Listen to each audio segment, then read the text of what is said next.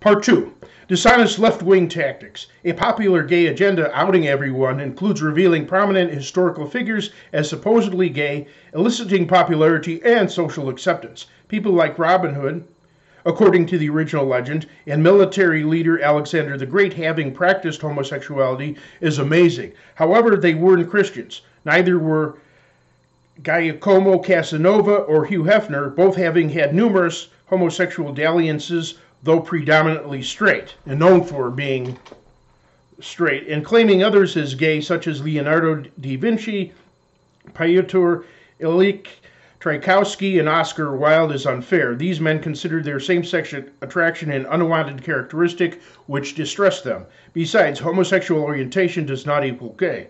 This three letter word is loaded with political implications, the liberal philosophy of cultural Marxism, and other baggage. A coffee cup featured numerous fancy doors and shuttered windows. After pouring a hot drink, the doors dematerialized, revealing the so called closeted gay people of history underneath. It didn't matter whether they were openly gay, gay and closeted, had unwanted homosexual tendencies, or were straight in real life, the propaganda was alluring. Another tactic is accusing everyone with anti gay sentiment of being subconsciously gay, fearful, and self hating, and condemning anyone who doesn't completely agree with gay agendas as hateful. Bisexuals are variously considered supporters of the gay community instead of members. Uh, confused, they're all hustlers or even traitors. Biphobia. Oftentimes, LGBTQQF plus groups only pretend to care about those other categories of people and only support gays and lesbians. Notably, gays and lesbians who, who never had relations with the opposite sex have awarded themselves gold star status, and gay men who were born via cesarean section, so they never touched a vagina at all, were, have awarded themselves platinum star status. And bullying, it sounds to me, it sounds ridiculous. And bullying in sexual schools has nothing to do with religion. Straights usually bully straights. Gay students have bullied straight students. It, it has happened. The, the so called 10% gay myth is a common tactic.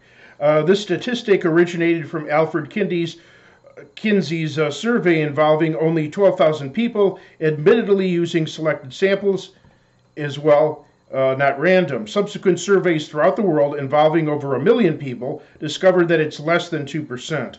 Besides, countries lacking a survey are anti gay. Since homosexuals would logically flee such countries and relocate elsewhere, this likely brings it down to below 1% worldwide. Uh, the number could fluctuate based on the uh, generation, though, as well. So, if the number of people who identify as homosexual inflates dramatically, we know that being born with such proclivities cannot be the main factor for the subsequent generations.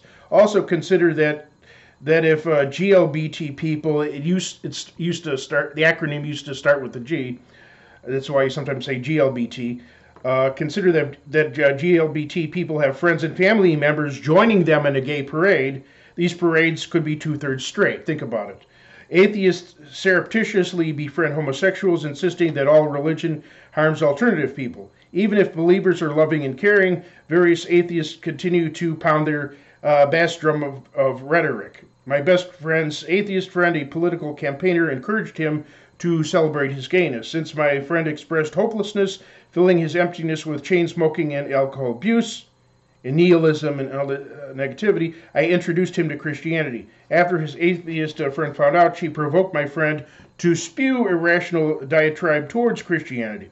However, a mutual friend who also identified as, as gay in, inquired about the woman's uh, son's sexuality. Uh, her son was uh, slightly underage, uh, the woman immediately became furious, declaring, uh, That's a parent's worst nightmare. Therefore, her phoniousness was exposed. Besides, many women gravitate uh, towards gay men in order to use them. These relationships are not reciprocal. This is fully documented. Some anti religious people associate with alternative people to get them to support their cause, while others surround themselves with those whom they look down upon to feel superior. It has been said, offensively. A fag is a homosexual gentleman who has left the room. Uh, I would never say that, but others have said that. Besides, we cannot dump on religion. Atheist governments have executed homosexuals because they supposedly weaken the state. Notably, Jewish persons have, have done more to promote gay interest than any other group, while Jews are one of the most anti gay groups of people. Internet videos document and explain this phenomenon. Loving committed uh, couples in same sex romance. The early church decried unrestrained debauchery, not same sex attraction or romance. Homophobia, demonizing gayness, and denying basic rights is a Protestant creation and later uh, creation. Barring gays from teaching is also unfounded. Ancient Greek uh, teaching mentors were sexually diverse. We take many ideas from them, including the term Rhodes Scholar. Love is so astronomically important and scarce, some search for it anywhere. However, youths typically come out as teenagers but don't commit to stable, loving relationships until their late 40s. Lives are spent on spider webby. I love that word, spider webby. It's interesting. Spider webby trysts, trysts, or how do you pronounce it?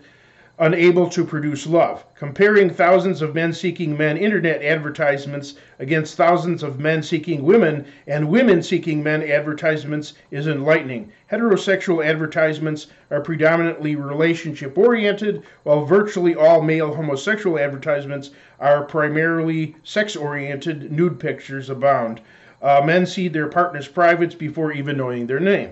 A common refrain amongst gays is that gay relationships are measured in dog years. What they mean by that is it, they usually last a fraction of the length of straight relationships. This may be from parents having taught their boys a heterosexual outlook, respect towards women, and rivalry towards males while failing to address sexuality per se, resulting in a dysfunctional dichotomy. And fully committed, loving, lifetime relationships amongst gay men are rare. Many so called partnerships are open relationships. Even with those who desire committed relationships, how many are merely motivated by financial and legal benefits?